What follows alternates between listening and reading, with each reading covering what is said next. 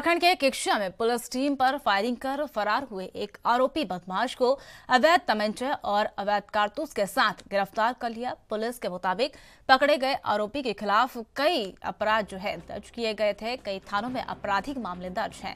थाना पुलिस के अनुसार पकड़े गए आरोपी ने अपने साथियों के साथ हल्द्वानी के सराफा बाज़ार व्यापारी को गोली चलाने और काशीपुर में रंगदारी मांगने की घटना को कबूल लिया है।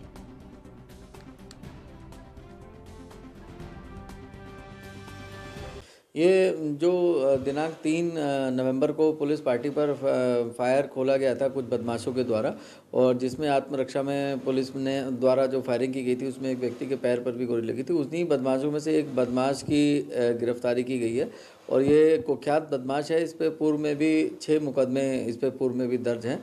और बरामदगी के दौरान इनसे एक मोटरसाइकिल बरामद हुई है और एक तमंचा और चार कारतूस मिले हैं। और वो जो मोटरसाइकिल है, उसकी बाकी किस घटना में क्या इन्वॉल्वमेंट है, इसकी भी इन्वेस्टिगेशन की जा रही है। और इस अरेस्टिंग से डेफिनेटली जो क्षेत्र में अपराध है, उस पर अंकुश लगेगा। और लगातार भी अभियान जारी रहेगा, उसमें और भी अभियान भी अभियुक्त शेष हैं, जिनकी गिरफ्तारी के लिए टीमें गठित की गई हैं और उनकी गिरफ्तारी